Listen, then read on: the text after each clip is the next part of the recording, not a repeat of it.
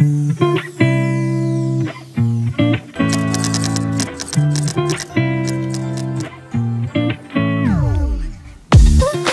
United memiliki lima pemain asing, tiga sudah dikontrak. Madura United sudah memiliki lima pemain yang berstatus pemain asing di Training Center (TC). Tiga pemain sudah resmi dikontrak untuk menyambut Liga 1 2022. Ketiga pemain itu yakni Hugo Gomez dos Santos Silva, Lulinha, dan Liu Jun. Sementara dua pemain Lee Ray Jun dan Selwat masih berstatus trial. Kabarnya, Madura United masih mau mendatangkan pemain asing slot bebas yang berposisi sebagai back. Namun, sampai sekarang manajemen tim tersebut masih menutup identitasnya dan batang hidung sang pemain tak kunjung terlihat di sesi pemusatan latihan tim. Wajah baru pemain yang berstatus trial di Madura United, dia adalah pemain yang perawakannya seperti bintang AC Milan, Zlatan Ibrahimovic, yaitu Selwan Al-Jaberi.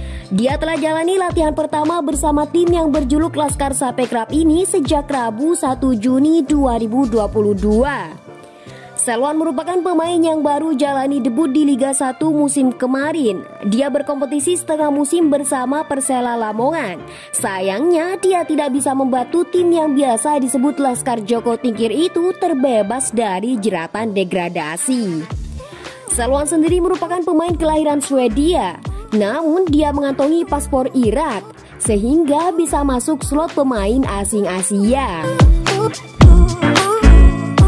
Pemain yang berusia 30 tahun itu telah membela banyak klub, yakni 8 klub Swedia, 4 tim Thailand, 1 klub Malaysia, dan bisa menjadi 2 klub Indonesia jika berjodoh dengan Madura United. Pelatih Madura United Fabio Lefundes menyampaikan dalam proses pembentukan tim sudah biasa melihat dan mencoba pemain. Sehingga tim yang berbasis di Pulau Garam ini bukan baru memiliki satu pemain trial, tapi sudah beberapa sekuat, termasuk asing Asia lainnya Lee Jun. Kami masih akan melihat dan menyesuaikan dengan kebutuhan tim. Semua pemain bisa perkuat tim ini, tergantung kemampuan dan apa yang tim butuhkan, kata Fabio.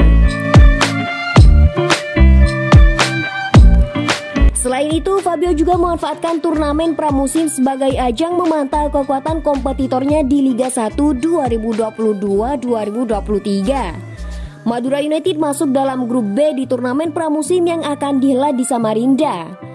Lawan tim yang berjuluk Laskar Zapekrab ini ialah Borneo FC, Persija Jakarta, Barito Putra, dan Rans Nusantara.